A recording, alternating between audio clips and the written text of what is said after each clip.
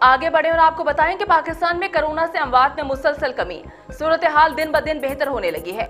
मौलिक वायरस ने 20 अफराद की जान ले ली। अमवात की तादाद पाँच हज़ार आठ सौ बयालीस हो गई। मुल्क भर में कोरोना केसेस की तादाद दो लाख चौहत्तर हज़ार दो सौ नवासी तक जा पहुँची।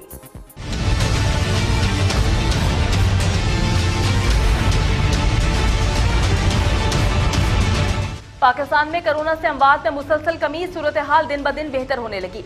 National command and operation centre के मुताबिक पाकिस्तान में कोरोना से एक दिन में 20 अफराज जहाँ बहक हो गए, जिसके बाद वायरस से मरने वालों की तादाद पाँच हज़ार आठ सौ बयालीस हो गई। पंजाब में दो हज़ार एक सौ सोलह, सिंध में दो हज़ार एक सौ इक्यावन, खैबर पख्तूनखा में एक हज़ार एक सौ अठहत्तर, इस्लामाबाद में एक सौ चौंसठ, बलूचिस्तान में एक सौ छत्तीस, गिलगित बल्तिस्तान में अड़तालीस और आज़ाद कश्मीर में उनचास मरीज़ जान की बाजी हार चुके हैं।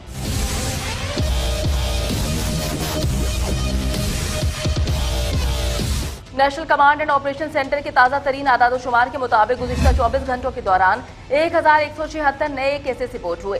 पंजाब में बानवे हज़ार तिहत्तर, सिंध में एक लाख अठारह हज़ार तीन सौ ग्यारह, खैबर पख्तूनखा में तैंतीस हज़ार तीन सौ सत्तानवे बलोचिस्तान में ग्यारह हज़ार छह सौ एक गिलगित बल्तिस्तान में एक हज़ार नौ सौ नवासी, इस्लामाबाद में चौदह हज़ार आठ सौ चौरासी, जबकि जबकि आज़ाद कश्मीर में दो हज़ार चौंतीस केसेस रिपोर्ट हुए हैं। मुल्क भर में अब तक अठारह लाख नब्बे हज़ार दो सौ छत्तीस अफराद के टेस्ट किए जा चुके हैं। गुजशत चौबीस घंटों के दौरान बाईस हज़ार छप्पन नए टेस्ट किए गए। अब तक दो लाख इकतालीस हज़ार छब्बीस मरीज़ सेहतियाब हो चुके हैं, जबकि एक हज़ार दो सौ उनतीस मरीजों की हालत तशवीशनाक है।